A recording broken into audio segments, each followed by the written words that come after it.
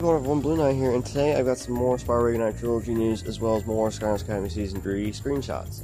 So without further ado, let's get started. First off, I want to discuss the Spyro Reignite Trilogy new footage and uh, new screenshot of Bianca. Well, first off, I'm going to start with Crush, the new gameplay teaser of the boss fight with Crush from Spyro 2 Ripto's Rage in the Reignite Trilogy. It looks pretty good. Um, considering I never played Spyro 2 Ripto's Rage, the original, it still looks pretty darn good. actually, I think this is our first footage at a boss fight in the Spyro Reignite trilogy. Uh, but if you do look closely, you can see Ripto in the background. Uh, you can't make him out very good, but he's there. Um, okay, now we got the revealed redesign of uh, Bianca from the Spyro Year of Dragon, third game in the Reignite trilogy. Looks more like an upgrade in textures than an actual redesign, which is alright. I mean, I like that. She now has a wand. Um, but you can also notice the throne room of a sorceress with a lot of noticeable like egg themes and the wings and stuff like that. There are now stained glass windows, unlike in the original. I don't know how that will work in the intro cutscene. Okay, that's pretty much all I got for Spyro Reignited. Now on to new Skylanders Academy Season 3 screenshots. These screenshots were posted on the updated Skylanders Academy website under the gallery section for Season 3. I'm only going to discuss a few of these clips though, um, or screenshots. So, this first one, uh, a lot of people were saying could be Dark Spyro after after he finds out the Skylanders find out there's a mole. That could be the case. That's an instance I can think of why Dark Spyro would be panicking. Here's one of Pop Fizz. I'm guessing we might get another Pop Fizz centered episode. I don't know. Now this one with Flynn. That looks like it could be a very, pretty funny scene.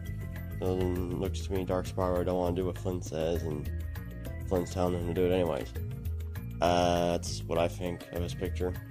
One with Stealth Elf and Dark Spyro. And this one's probably the most interesting one right here, um, with Kaos and Glumshanks. Now, um, now to me, what got my interest of this picture is what the thing is that Kaos is wearing. It looks to me like the Iron Fist of Arkus from Skylanders Giants. Of course, this time it don't look like it's turning him into a robot, because if you look at the toward the bottom picture, it looks like he's controlling the robot, if that's what it is. The Arkeyan Conquertron. I mean, that's and the location in the back looks similar to where the Arkeyan Conquertron was in the trailer. Um, so it seems like they're incorporating more Giants elements into this season. And it could be what the treasure is that Kaos and his crew are looking for. If you remember back during one of the script leaks by Wolfgang's voice actor, he mentioned, like, say, a treasure hunting episode. So it could be Kaos is looking for this, or the Iron Fist of Arkus is the artifact Spyro, Dark Spyro's retrieved for Strykore. But it's more likely it's the treasure that Kaos is looking for.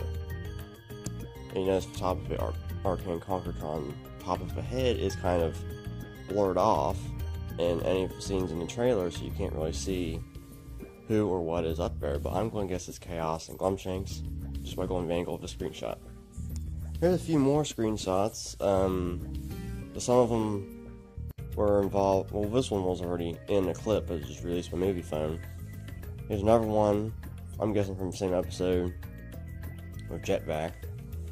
Um, so yeah, I'll play this clip for you. It was a pretty funny clip, actually, especially when Hugo gets in there.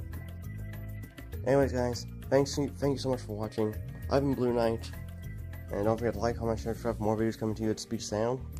You can also find me over on Twitter, on Sonic Stadium, my Blue Knight 20 blog, and over on Patreon, become a patron, and my channel, my site, become next level source for video game news. So once again, guys, if I left anything out, let me know in the comment section below. I've been Blue Knight, and I will see you next time. Goodbye.